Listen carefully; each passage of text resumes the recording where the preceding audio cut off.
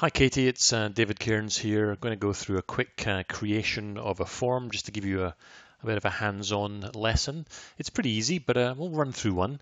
Um, so before we do, let's find something to do. Uh, let me find a form. So here is uh, apt for this time of year, uh, employee self-input.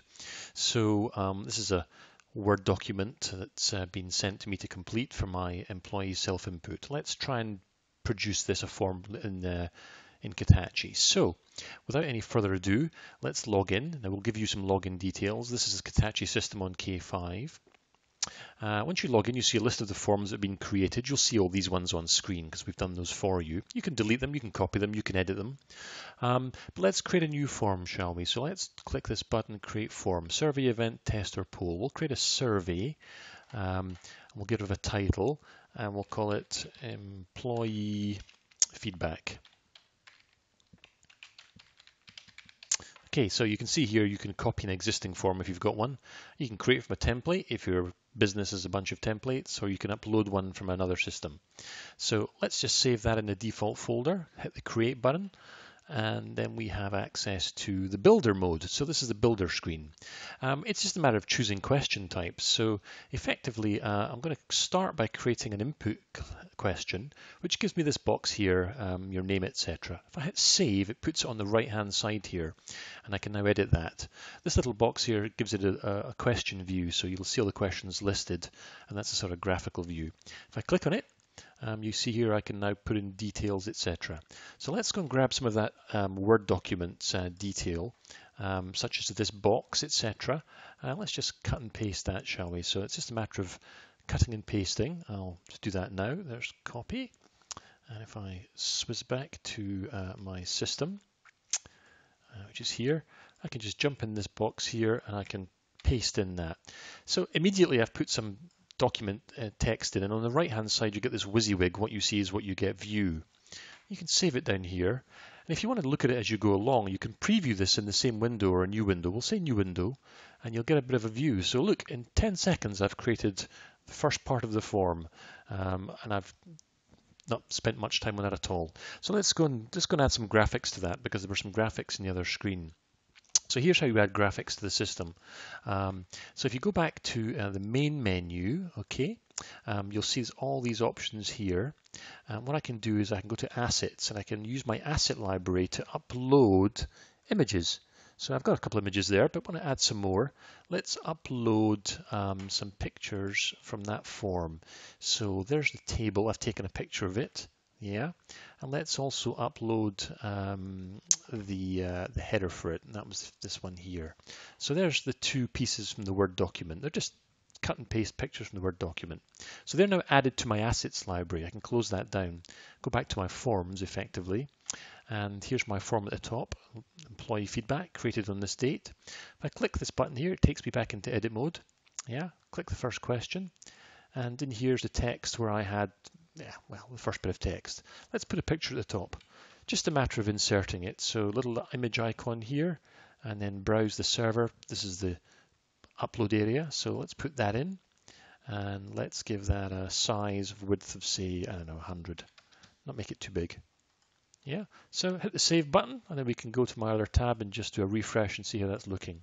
Yep, let's put that little icon there. Okay, let's put the next bit in, shall we? That was the um, little table. So if I again insert an image, go to browse server, choose the table and say, let's give that a width of about hmm, 760. You'll see why in a second. It's a screen width I'm sorting. Yeah, there you go. Let's put it in. Hit save. Go to another tab, hit refresh. Now, when I look at this, this is the live form on the web. You can see it's too big, the picture there. So what I can do is I can make the form wider to fit it or the picture smaller. So let's just make the form wider, shall we? Settings appearance, and this is the form width. Let's make that 800 and save the changes there. See how that looks. Yep, there we go. The picture now fits. So we've now got a bit of text, picture, question. What are we missing? Let's go back to the main Word form and have a look, shall we? So on the Word form, there's some boxes here we need to put in, free form boxes. Let's cut this, cut and paste this text, shall we? And I shall go back to um, the, the builder. Uh, that's the view, and we're back in the builder. Now, what we can do here is effectively just do saves as, as, we, as we go along. Go to My Questions, And uh, we want to, down here, add a question type, bottom left. Let's add a freeform box, so text box, yeah. It's here, save question to end, and it'll put it on the right-hand side, down the bottom.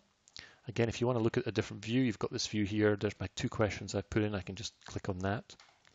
Uh, let's put in the actual um, text for the question. I cut and paste that from before. Let's force a reply for this, so it has to be filled in. Hit Save Changes, and then go to the uh, refresh on the browser. See what it's done. Yep, let's put a box down there. We've got two more to go, and we've almost finished this form.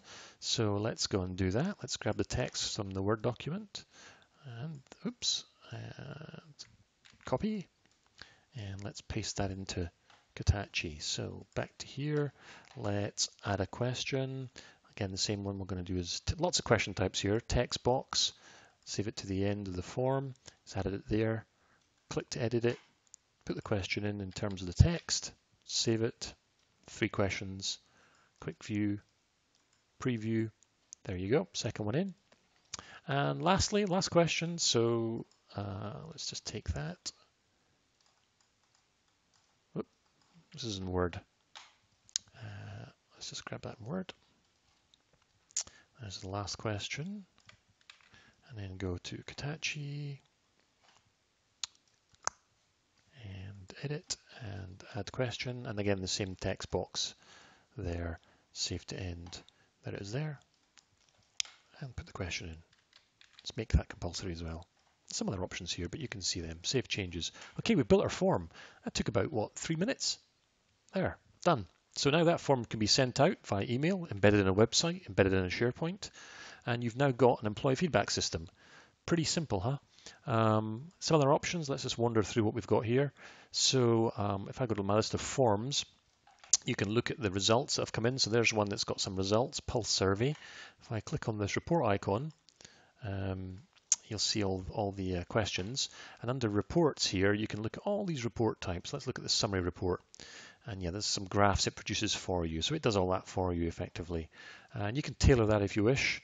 Um, you can even look through the individual entries. So you can go through and just look through and see what people have entered every time they've completed the survey, which is quite nice.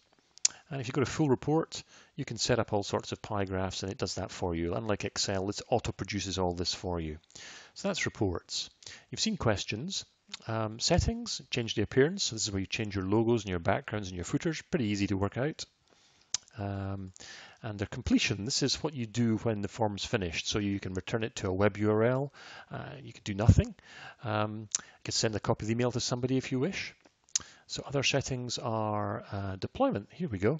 So this is interesting. So um, under deployment, we can set um, how you send it out. So from a mail note, from an instant message on a web page, and this is the text to embed it. It gets a bit techy here, so you might want to put this in a web server. So there's some, it gives you the code to put in.